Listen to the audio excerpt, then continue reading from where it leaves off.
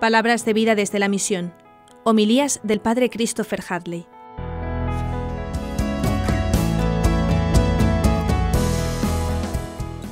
Dadles vosotros de comer. ¿A quién tienes tú que dar de comer? Dice que cuando la gente se hubo saciado, Jesús enseguida apremió a sus discípulos. Además es que hay que ponerse en, en la escena, como decía eh, San Ignacio de Loyola, la composición del lugar. Apremiar no significa pedir por favor simplemente de una manera pasiva. No, no, quiere decir que, que urge la cosa a que se subieran a la barca los discípulos y se le adelantaran a la otra orilla. ¿Por qué Jesús no quiso ir en la barca con ellos todavía es un misterio. Dice que él se quedó allí despidiendo a la gente, que llama la atención el respeto que Jesús muestra no simplemente que es el mago que tiene una sesión de cuatro a seis de circo y termina la función y que todo el mundo se vaya a su casa porque ya ha terminado el entreacto. Pues mirad, dice que Jesús se quedó, la calma de Jesús, la ternura de Jesús, la educación, el respeto de Jesús hacia la gente. Dice que les dijo que se fueran, les apremió a que se fueran a la otra orilla mientras él despedía a la gente. Muchas veces estoy seguro que muchos de los gestos y las reacciones de Jesús deberían de ser muy difíciles para los apóstoles entender, porque no se podían quedar ahí con él, porque no le podían esperar, y después de despedir a la gente subió al monte a solas para orar. Esta es la verdadera razón por la cual despide a los apóstoles y les dice que se vayan, que se le adelanten a la otra orilla. Y dice que llegada la noche estaba allí solo. Qué maravilla es ver a Jesús en la soledad de la montaña, sentir la brisa de la noche, quién sabe si un cielo estrellado, y ver a Jesús, la silueta de Jesús, en el contraste del, del, del, reflejo de la luna, y Jesús allí, solo en la montaña, orando al Padre, las horas que pasaría allí él solo nos lo dirá un poquito más adelante. Mientras que Él está disfrutando de la serenidad del sereno de la noche, en oración, en diálogo de infinito amor con su Padre, abajo, en el lago, hay una barca que es el mundo, que es la iglesia, que somos nosotros, que va luchando contra las olas. Dice, mientras él estaba allí solo Llegada la noche, orando al Padre, la barca iba ya muy lejos de tierra, sacudida por las olas, porque el viento era contrario. A la cuarta vela de la noche se les acercó Jesús andando sobre el mar.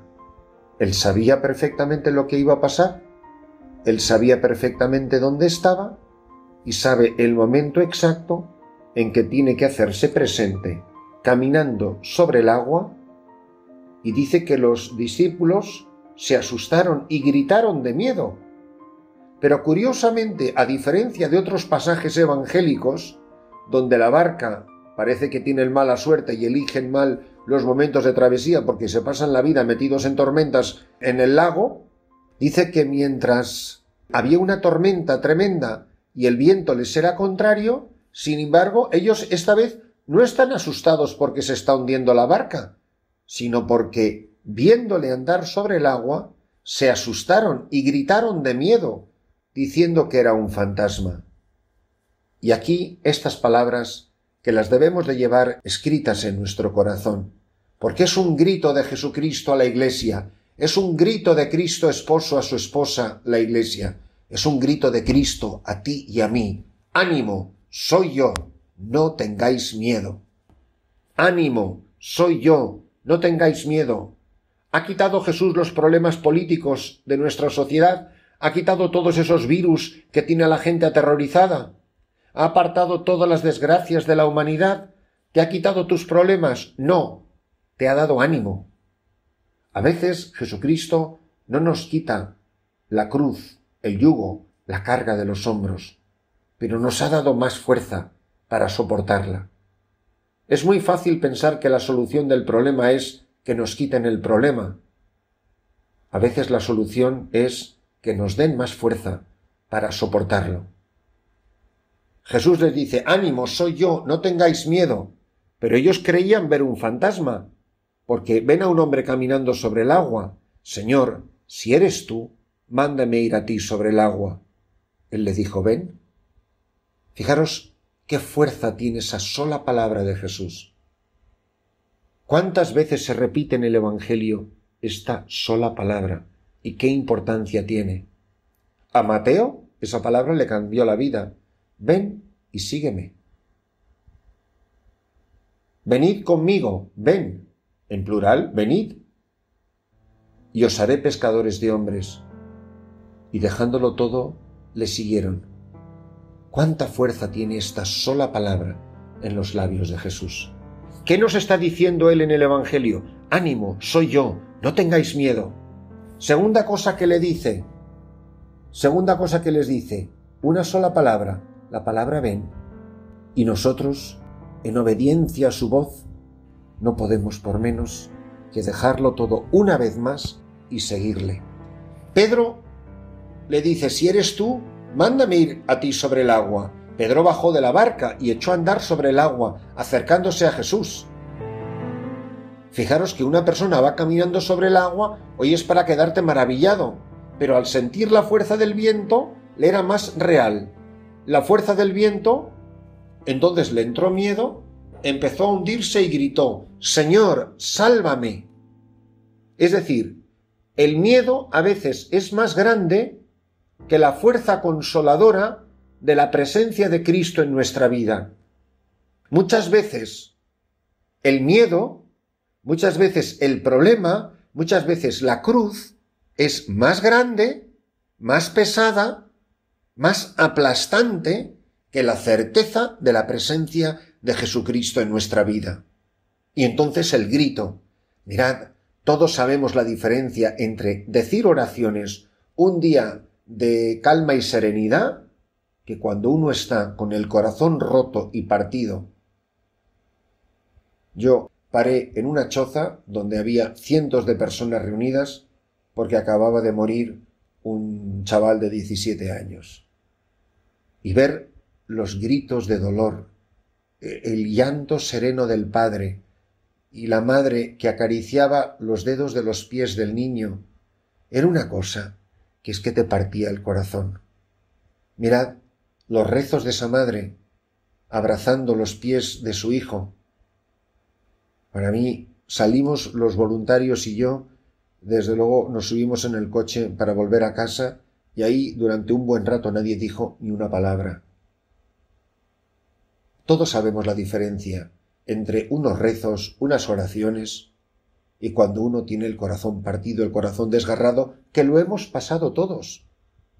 Enseguida Jesús extendió la mano y lo agarró y le dijo, Hombre de poca fe, ¿por qué has dudado? Si yo te digo, ven y camina sobre el agua, tú ven a mí, no apartes de mí la mirada. No te preocupes por la fuerza de las olas y del viento, soy yo que te he dicho ven. ¿Cómo te voy a dejar hundirte? Pero fijaros qué bonito, enseguida Jesús extendió la mano. ¿Cuántas veces Cristo ha extendido la mano cuando a mí me ha fallado la fe? Y cuando volvemos la vista atrás y pensamos en nuestra vida, seguro que reconoceremos tantos momentos en nuestra vida cuando nos estábamos hundiendo, hundiendo en el mar de este mundo, en el mar de nuestros problemas, en el mar de nuestras cosas. ¿Cuántas veces? ¿Cuántas veces no habremos dudado y temido. Hombre de poca fe, ¿por qué has dudado? ¿No tendrá que decirnos a nosotros nuestro Señor Jesucristo esas mismas palabras más de una vez? ¿Cuántas veces no somos nosotros los que hemos sido hombres y mujeres de poca fe y hemos dudado? En cuanto subieron a la barca, es en plural, quiere decir que Jesús y Pedro subieron a la barca, en el momento en que Jesús se sube a la barca, dice, amainó el viento. En cuanto Cristo pone un pie en tu barca, pone un pie en tu vida, pone un pie en, la barca de la iglesia, dice que amainó el viento. Los de la barca se postraron ante él diciendo, realmente eres hijo de Dios, Quirios, el Señor quiere decir entonces que la experiencia de este signo del paso de la fe da lugar a la confesión de los, de los doce. Muchas veces os he dicho que los fallos y los defectos de los apóstoles han sido el mayor motivo de gloria y de alegría para todos nosotros, porque es cuando más preciosas son las palabras de Cristo. ¿Cómo iban a confesar la fe si no hubieran visto el signo que acaban de ver? A Simón Pedro caminando sobre el agua, a Simón Pedro hundiéndose, a Cristo rescatándole y subiéndose los dos en la barca y encima subiéndose Jesús en la barca y parando instantáneamente el viento. Pero ¿quién es este hombre que hasta el viento y las olas le obedecen? ¿Quién es este hombre que tiene poder sobre las fuerzas de la naturaleza, sobre el cosmos? ¿Quién es este hombre que es capaz de infundirme la fe ¿Quién es este hombre que me ha rescatado de las aguas? Terminada la travesía, llegaron a tierra en Genesaret, y los hombres de aquel lugar apenas lo reconocieron, pregonaron la noticia por toda aquella comarca, y le trajeron a todos, y le trajeron todos los enfermos. Le pedían tocar siquiera la orla de su manto, y cuantos la tocaban quedaban curados. Hermanos, tenemos fe. Una pregunta sencilla, ¿tenemos fe? Me diréis, a lo mejor, un sí rápido y espontáneo. La pregunta, ¿tenemos fe para caminar sobre el agua? Yo no sé lo que caminar sobre el agua va a significar de hoy en adelante en vuestra vida o en la mía. Pero muchas veces Jesús nos va a pedir caminar sobre el agua. No nos va a dar una explicación científica de por qué podemos caminar sobre el agua. Solo nos va a decir una palabra, ven. Si vienes a mí, no te vas a hundir. Si te dejas aterrorizar por la fuerza del viento, te vas a hundir. Pero entonces, si nos fiamos de su palabra cuando nos dice ven, aunque nos esté pidiendo en mi matrimonio, en mi parroquia, en mi sacerdocio, en mi misión, me esté pidiendo caminar sobre el agua, entonces podré decir realmente eres hijo de Dios. Y confesaré tu divinidad, tu omnipotencia, en la humanidad del Verbo. Benditos nosotros, queridos hermanos, si en las experiencias dolorosas y difíciles de la vida, contemplando a Cristo en oración íntima, en la soledad de la noche, en la cima de la montaña, viéndole caminar sobre las aguas, quedamos maravillados, confesamos nuestra fe, le recibimos en la barca, se amainan las tormentas, y con solo tocar la orla de su manto, todos quedaremos sanados. Si la experiencia de la vida y la fe que se profundiza nos hace capaces de exclamar, realmente tú eres el Hijo de Dios, estaremos salvados.